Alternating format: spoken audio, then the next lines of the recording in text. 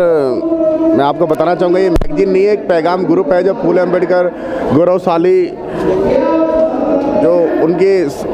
समाज के लिए जो काम कर रहा है, जो हमारे एक समाज है, बहुजन समाज, उनके फूल अंबेडकर गौरवशाली अध्ययन, उस पर ये पूरे देश को लेकर काम कर रहा है। हमारे समाज के अंदर जो भ्रांतियाँ हैं और काफ़ी गलत चीज़ें हैं उन सबको यहाँ बताने के लिए एक इकट्ठा करने की कोशिश करिए एक बहुजन मूवमेंट के द्वारा। और यहाँ पर जो हमारे जो बहुजन नायक, नायिका हैं, उनके बारे में बताया जा रहा है, उनके संघर्ष के द्वारा जो समाज के अंदर जो आज इतनी जो गलत प्रचार फैलाया जा रहा है, लोग आपस में एक दूसरे से दूर होते जा रहे हैं तो उनको पास उनको एक एक दूसरे के साथ मिलाने की कोशिश की जा रही है और पैगाम के द्वारा ये, आज पैगाम के द्वारा आज यहाँ जो 11 फरवरी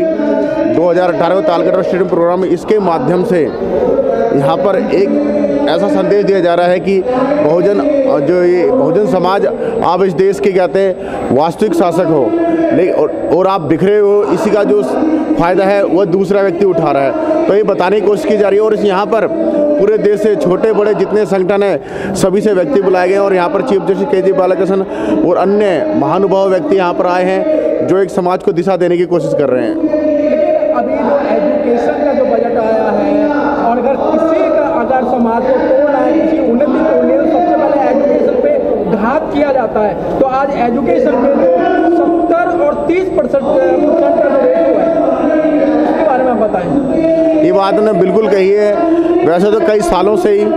यहाँ पर एजुकेशन में पूरा प्रहार किया जा रहा है। एजुकेशन में प्रहार करने का मतलब ये है कि जो बहुजन समाज है, दलित समाज है, इसको पूरी तरह रोकने की कोशिश की जा रही है। लेकिन जब से ये एक अलग तरह की सरकार आई सन 2014 के बाद, ये तो पूरी तरीके से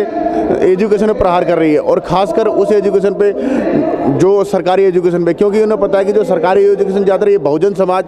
ये ग्रहण कर रहा है। क्योंकि बाबा साहब ने अपने तीन मुख्य मंत्र दिए थे, शिक्षित बनो, संगठित बनो, संघर्ष करो। बाबा साहब को मालूम था कि इस समाज को अगर आगे बढ़ने की सबसे बड़ी कुंजी है, वो शिक्षा ही है। अब शिक्षा के द्वारा इस देश के अंदर बहुत बड़े आंदोलन है बाम से बना बीएसपी बनी, और जो कई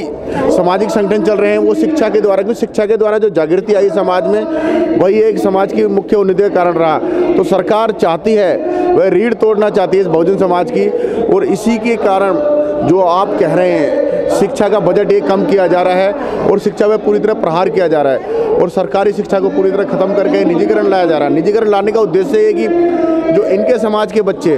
तथाकथित उच्च जातियों के समाज के बच्चे ये आगे बढ़ जाएँ और जो तथाकथित निम्न जातियों के बच्चे ये पीछे रहें। इनकी मंशा ये है कि समाज में बंटवारा रहे ताकि ये समाज